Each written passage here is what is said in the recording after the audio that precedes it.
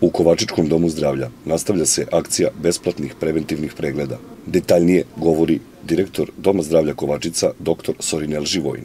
Hoću da obradujem građane opštine Kovačica, znači nastavljamo sa preventivnim pregledima, pošto prevencija je najbitnija u ranom otkrivanju neke bolesti, znači u nedelju 3. marta od 8 do 16 sati će biti štitna žlezda, znači hormoni štitne, će se raditi u laboratoriji od 8 do 11 najkasnije, pošto te uzorke šaljemo za Pančevo.